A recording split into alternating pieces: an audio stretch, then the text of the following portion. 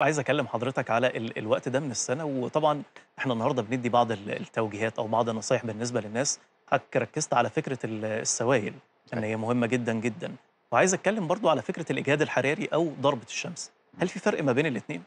آه، في فرق ما بين آه. ضربة الشمس أو ضربة الحر اللي بنقول عليها والإجهاد الحراري. الإجهاد الحراري هي الدرجة المخففة الأقل خطورة من ضربة الشمس. آه.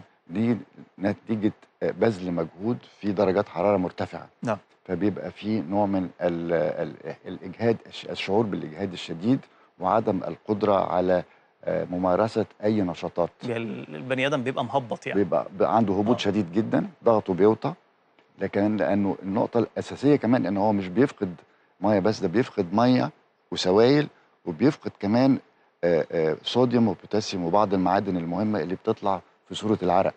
ده بيأثّر جدًا على درجة تركيزه وعلى آآ آآ آآ أداء العضلات بتاعته، تبقى عضلاته مه مُجهدة جدًا، بيبقى مش قادر يتحرك.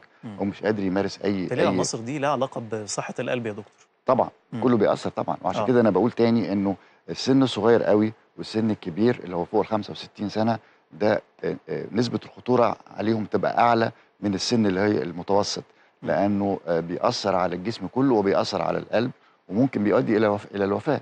آآ ضربة الحر درجة مرتفعة أكتر كمان، إنه بقى زي ما باقول لحضرتك الجهاز العصبي ال الترموستات اللي ربنا حاطّه بيبوظ، فبيفقد السيطرة على ضبط درجة حرارة الجسم. حرارة الجسم بتبوظ. ال ال الإنسان بيفقد السيطرة إن هو يقدر يعمل التوازن ما بين حرارة اللي برّه وحرارة جسمه. الداخلية. آه. حرارة جسمه الداخلية هي الأهم. لمّا حرارة جسمه ال الداخلية بتزيد ومت ما بتنزلش لعدم قدرته على إن هو ينزّلها، لأنه الجسم بي قادر إن هو بينزّلها، دي بتبقى في منتهى الخطورة. بس ده ممكن الحرارة بعض ترتفع جدًا. دي حالات مرضية بقى يا دكتور. بالضبط، ما هي دي حالة مرضية، آه. ما هي الحالة اللي هي الأكثر خطورة مين الناس اللي هي ممكن ما تقدرش إن هي تخرّج الحرارة في الجو ده؟ لمّا بتيجي له ضربة الحر، آه. التعرُّض لمدة طويلة لدرجة حرارة عالية وفقد س معاه فقد سوائل وأملاح معدنية. هل ده بيعاني أصلًا من أمراض سابقة لأ يعني؟ مش شرط خالص، ممكن. يكون ممكن يكون بصحة جيدة جدًا، آه. وبنشوف يعني ناس في في صحتهم جيدة جدًا بتيجي لهم ضربة الحر دي. وقد تؤدي إلى الوفاة. دلوقتي والله كنا بنشوف زمان الناس بتمشي بالشمسية و ده مهم. جدًا على فكرة. آه، في بعض الناس دلوقتي بدأت تتكسف جدًا من الحاجات دي. ده مهم آه، جدًا آه. ودي حاجة ما ت ما ت ما تزعّلش خالص لأنها دي ممكن بتقي إلى من مشاكل كتير جدًا. إمم. الأهم هو آآ آآ زيادة معدل تعاطي السوائل. وتعاطي برضه بيبقى يكون برضه فيها ن نسبة ملح شوية، آه. زيادة شوية، علشان إحنا بنعوّض الجسم من من الفاقد. زائد د آآ برضه البُعد عن التعرُّض لدرجات الحرارة بصورة مباشرة. يعني زي ما حضرتك بتقول كده الشمسية دي حاجة لازم. ب بسيطة جدًا و الملابس لكن القطنية الخفيفة. بالضبط. آه.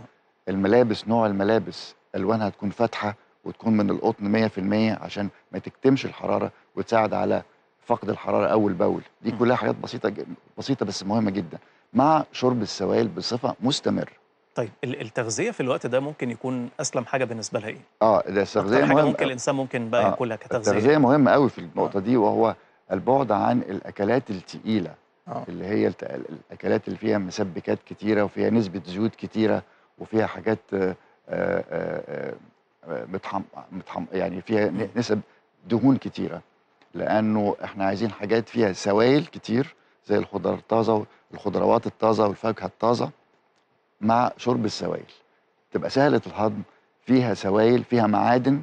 بتعوّض الجسم أول بأول عن ال ال فقد السوائل، زي مثلًا البطيخ كمان، البطيخ من الحاجات المفيدة آه. جدًا في الحر ده. الموسم بتاعه كمان الموسم كمان بتاعه. دلوقتي كويسة آه. ومناسبة جدًا يعني. مليان مَيّة آه. ومليان سوائل ومليان أملاح معدنية بتعوّض الجسم أول بأول عن فقد. السوائل.